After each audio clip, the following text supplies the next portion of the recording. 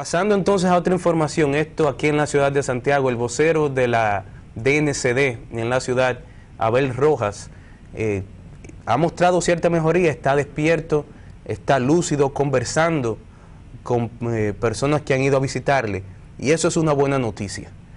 Eh, lo que sigue dando, y, desde un inicio dijimos, don Yusi, que lo más importante era eso, la salud de Abel Rojas, que se recuperase, que pudiera salir del cuadro clínico crítico en el cual se encontraba. Recordemos que estaba eh, bajo, en un coma inducido, entubado. Es decir, que todo este desarrollo positivo en, su cuadro clínico es de saludar.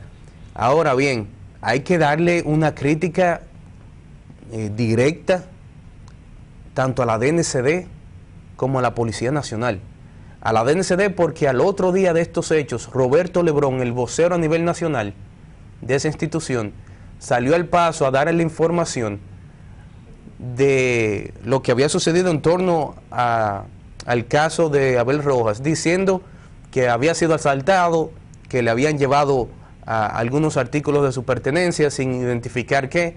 Luego la Policía Nacional aquí, con asiento en Santiago, ah, dijo que no, que aparentemente no hubo tal asalto y que no se le habían llevado su arma de reglamento como se había informado. Luego el vocero dice de la Policía Nacional aquí, Cordero Paredes, dice que sí, que hubo tales hechos y después dice que no.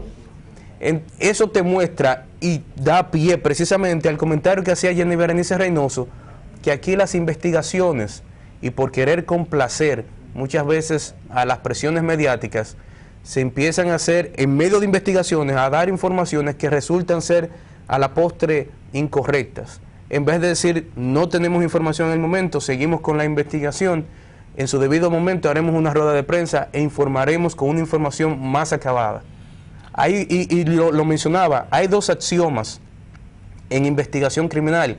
Usualmente la información preliminar que se tiene de entrada es parcial o totalmente incorrecta. Por eso no se ofrece a, los medios de comunicación y a la opinión pública. No veo que la Policía Nacional aquí tenga ese tipo de entendimiento del manejo de las informaciones, pero sí hay algo cierto. La única persona que sabe qué pasó a ciencia cierta es Abel Rojas. Y quizás ni él mismo. Eh, mira, hay, un, hay una nota que yo creo que es importante hacerla resaltar. Tú hablas de que eh, uno de los axiomas es que la información eh, inicial a veces es o parcial o totalmente falsa. Bueno, ahí yo creo que está gran parte del descrédito, del descrédito de las, las expresiones de la Policía Nacional, porque es que cuando tú diste una información de inicio, posteriormente decir que no, que no fue eso, que es otra cosa, se hace resistencia, la policía y todo el, todo el que ha hecho ese tipo de trabajo ofrece resistencia a no darte la información posterior porque entiende que eso sería bueno, pero que me va a poner en, entredicho lo que yo ya afirmé. Yo creo que sí, que como dice la fiscal Jenny, Berenice, no debía eh, darse una información, es decir, aquella premisa de que lo importante no es dar primicia, sino dar la información completa, completa, debía ser asumida por la policía y por cualquier ente investigativo. Con lo de Abel Rojas hay muchas lagunas, muchísimas, y nosotros preferimos guardarnos muchas preguntas. Incluso la opinión que tenemos sobre uno y otro de comunicados que se han vertido, porque lo importante, como decimos, es la salud de Abel. Pero eh, internamente hicimos algunos requerimientos, ven acá, ¿por qué esto o lo otro? Eh, en la investigación para satisfacer eh, eh, el, digamos la, la forma en que fue en que ocurrieron los hechos si es que ocurrieron porque eso está en veremos si efectivamente ocurrió porque hay dos, dos vertientes de la, de la, del hecho la que expresa el cuñado y la que después expresan las autoridades afincada en lo que el cuñado dice pero resulta que el cuñado posteriormente dice que no dijo eso, sino que fue otra cosa. Eh, hay mucha desinformación eh, y apelamos a que las autoridades asuman que no es importante dar un, por, eh, por información que sea preliminar, no darla. Espere a que usted tenga eh, la, la información correcta y esa es la que deberá compartir.